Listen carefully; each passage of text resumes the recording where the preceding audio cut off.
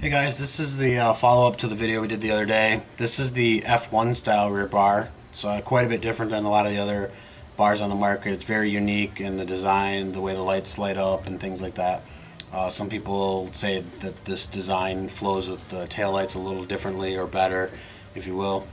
Uh, this bar is um, made a little differently. It's a lot more stronger than some of the other bars on the market uh, hence the price. But you do get what you pay for always with these products. Um, you get everything you see here. T-taps, You get the connector, the push buttons for the side here. All the zip ties, shrink tie, a grounding strap, a bolt. Uh, good installation instructions with this one, as well as an extension piece. The installation on this one is a lot easier than some of the other ones.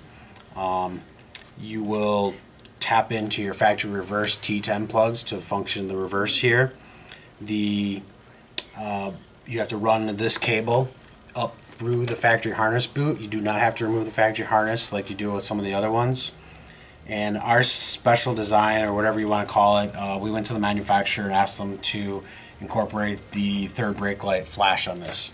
So when you press the brake lights and you have this wire hooked up, you'll get a flash and then you'll get a solid with your brake. So again, oops, there we go get a good connection. So you get a flash and then the brake is on solid like that. And that'll happen every time you lift and put your foot back on the brake. And I'll take the lights off. I'll show you just the brake. So this the daytime function. That's it. Uh, for more installation instructions, just follow the link below. We'll have documentations on how to fully install this as well as what wires connect to what. Thanks. Have a good day.